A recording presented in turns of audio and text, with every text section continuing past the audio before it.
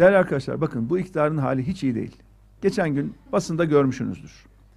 Ne oluyor? Mecliste bir bakan yardımcısı telefonunu açmış, şöyle telefonunu karıştırıyor. İçinde torpil listesi var telefonun içerisinde. O neler neler, torpil. Ona torpil, buna torpil. Karıştırıcı torpil. Gazeteciler de onu çekmiş mi? Akşam haberlere düştü mü? Üstelik bu telefonunda torpil listesi olan insan bakan yardımcısı.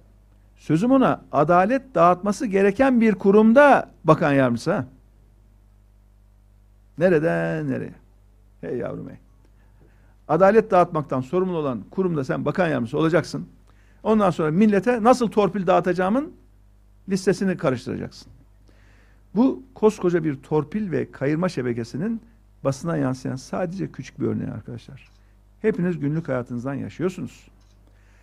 Bunlar istiyorlar ki gecesini gündüzüne katıp çalışan Nideli kardeşimin evladı, oğlu, kızı eğer onlardan değilse işe girmesin. İstiyorlar ki onlardan olmayanlar ekmek parası kazanamasın, eve ekmek götüremesin. Parti üyesi değilsen sosyal yardım, sosyal destek alman adeta imkansız. Adalet bu mu ya? Hak bu mu? Sayın Erdoğan seçimlerden evvel meydanlarda bu mülakatı kaldıracağım demedi mi? Niye de siz şahit misiniz? Mülakatı kaldıracağım demedi mi? Şahit misiniz? Ne oldu? Mülakat aynen devam ediyor mu?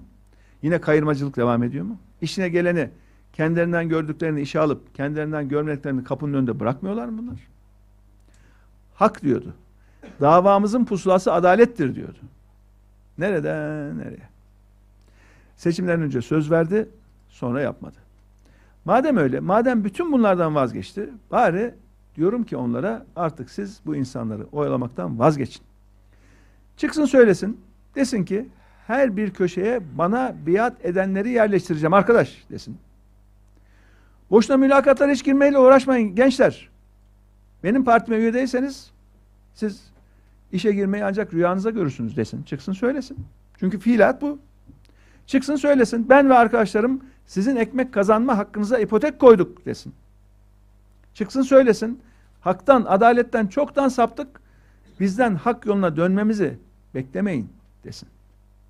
Desin de cümle alem bilsin. Bakın arkadaşlar. Adalet Bakanı'nın makam duvarında bir zamanlar şu şiir dizesi yazılıydı. Adalet Bakanı'nın oturduğu makam odasının duvarından bahsediyorum. Hala yazılı mıdır yoksa artık utanıp kaldırmışlar mıdır bilmiyorum.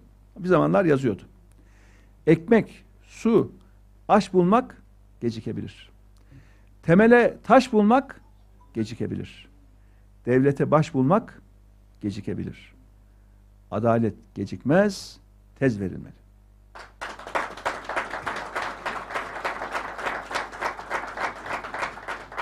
Hala yazılıdır bilmem. Ama Adalet Bakanları onu her gün makam odasına girerken çıkarken okurdu.